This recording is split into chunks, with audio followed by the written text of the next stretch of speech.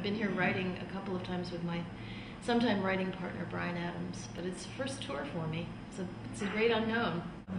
We've written all over. We've written in Canada, in England, in France, in Jamaica, in Germany, everywhere. With Bryan Adams.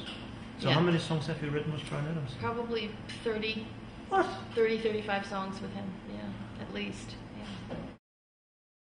You have written lots of songs for lots of people, right? I mean, I have normally, you know, I write by myself. I'm not a frequent co-writer. It's not it, it's not something I find easy to do. Um, and I've never really I don't really consider that I actually write for other artists in the sense that I sit down and I think, oh, this would be good for, you know, Bonnie Raitt or whoever. Uh, it's more that um, I've been fortunate enough to have other artists find my songs and, and record them. And there's some songs that that have been placed with other artists that really I feel like they were meant to be with that artist. Like Independence Day is a great example. Martina McBride, I believe she was the perfect artist for that song.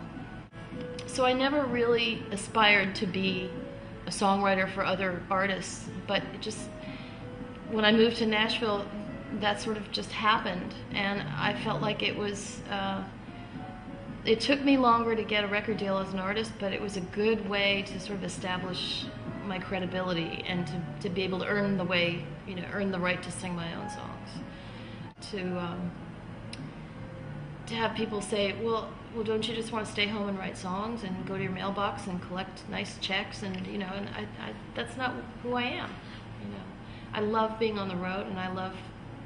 I, I think the moment when you perform music is the most uh, sort of the least complicated moment of the whole thing. It's it's just a very direct transaction between the artist and the audience, and I love that. And I could never give that. One of them is on a bus to St. Cloud. right. Um, and you know, every writer wants their newest song to be the one they feel that way about, and that's an old song. It's, I wrote it a long time ago, but it, I just have never gotten tired of singing it, and I. It also always seems to strike a chord with audiences. Um, so that one is really special to me, and I think. I think Circus Girl is also it's another, yet again another older song, but that song feels like the most autobiographical thing I've ever done. And it's funny because when I wrote it, I wasn't thinking that at all. I was thinking it was this character that I was writing about. But you know, over the years, as sometimes happens with songs, they, they, they become true. Mm-hmm. You know, they, they maybe didn't start out true, but they become true. And I really identify with that woman in that song. So much of it is subconscious. I mean, so much of it is is you're you know you're trying to get down to a level where you're you're bringing something out that that moves you in some way, that means something to you, and and so much of the process. And I say this with recent memory because I've been writing for a new album a lot lately. So much of it is just the process is just digging down to get to that part of a song that really will move you and hopefully move someone else. So, so yeah, I think there's a lot of subconscious stuff. I mean, I've often had the experience writing songs where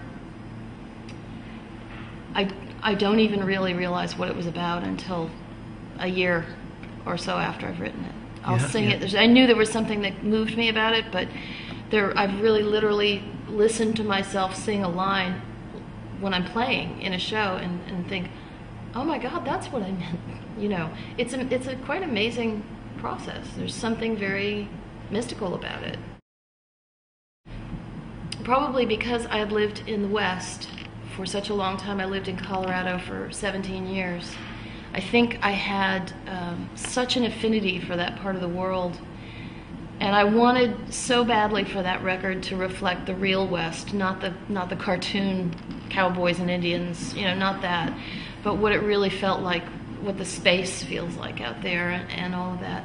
That I think I, I, I identified with those songs as deeply as I do with my own. I think that that was a lot about it, and just working with Tom added a whole new level. Uh, Tom's got a gritty very gritty sort of take on on life and on the world, and his writing reflects that. And it, it was a joy to make that record. But wasn't that record like completely contrary to what you did prior to it? Because I mean, in a way, you didn't really make yourself part of the Nashville scene, if you like. So you stayed away from this countryish thing, and then you went in and did.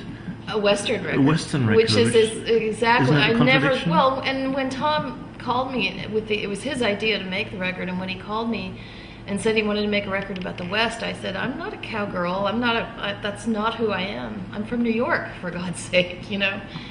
But he started. I trust him artistically, first of all, and second of all, he started to describe what he envisioned this record being like, and he started naming songs, and he started talking about writers like Bob Dylan and Townes Van Zandt, and uh, I started to get the picture that that the the record that he was talking about really described the geographical place and the beauty of it and the loneliness of it. And the, and and as we went through the songs and picked out songs various themes started to emerge themes that really really intrigued me. I mean one of the th- big themes in that album is is sort of death and reincarnation.